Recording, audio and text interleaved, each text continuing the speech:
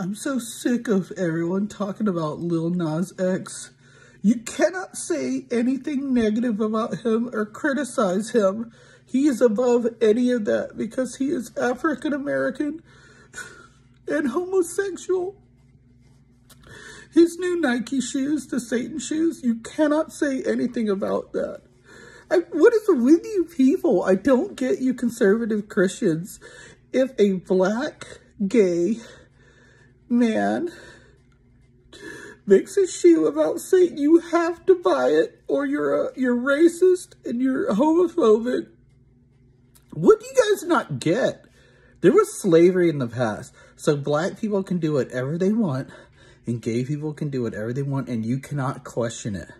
So if you are not into devil worship like his new video, the Montero, if you're not into that, let me just tell you this, you're part of the problem, okay? Racist fascist.